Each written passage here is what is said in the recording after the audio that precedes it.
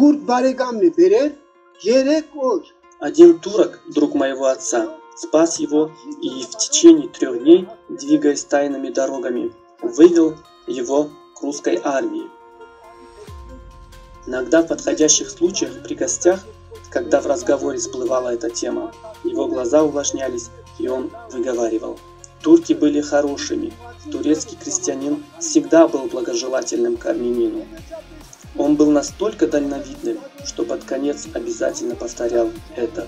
Турецкий крестьянин, даже вся турецкая нация хорошо относились к армянам.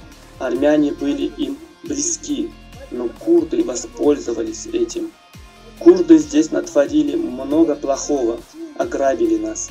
Они отбирали даже те наши вещи, которые были при нас. Османские армяне восстали в 1915 году. Они были подданными Османской империи. Они предали присягу и устроили восстание, чтобы получить политическую независимость от Османской империи. Они преследовали политические цели. Смерти, последовавшие за этим, не было геноцидом по определению. Сами османские армяне на Парижской мирной конференции в 1919 году хвастались, что они в 1915 году присоединились к державам Антанты и стали участниками войны. Армяне отказались от своей лояльности Османской империи и сражались вместе с Россией и Францией, которые тогда были врагами Османской империи. Армяне сражались как участники войны, так что они погибли на войне. И это не убийство, связанные с геноцидом. Из всех соответствующих сторон, участвовавших в Первой мировой войне, только Армения отказалась открыть свои архивы.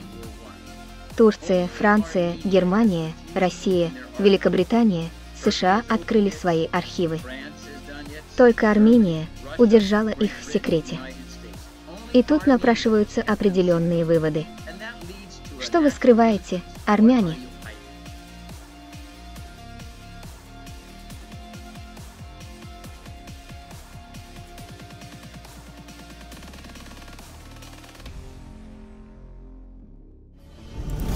Спасибо за просмотр. Поставьте лайк, и если вы не подписаны на наш канал, то подпишитесь. Что думаете вы? Пишите в комментариях. До новых встреч!